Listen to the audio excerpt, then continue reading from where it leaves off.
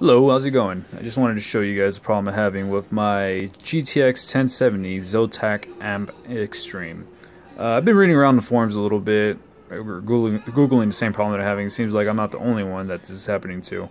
Uh, so everything's installed correctly, it's working fine. Um, only issue I'm having is uh, initially on boot up, um, what happens is as soon as I turn on the computer, uh, there's no signal at all.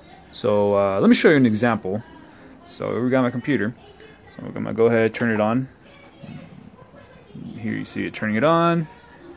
Go over to the monitor. No signal.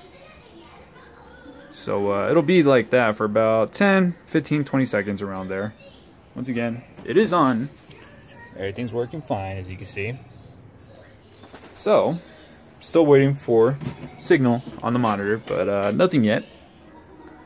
So uh, let's give it a little bit more time.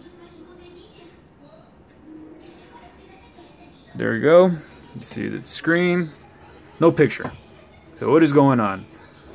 At first I was dumbfounded and I waited for a while. And then afterwards I started messing around. And so what I have to do is I have to reset it like this. This time when I reset it, I get signal still there. It just doesn't show anything. Monitor going to sleep. So what I gotta do next is I turn it off. One click. Wait a few seconds. Here we go.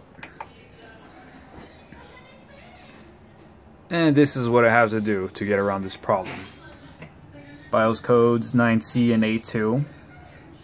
And there we go. I know 9C is a USB issue. Um, just trying to boot into USB A2. I don't remember what it was.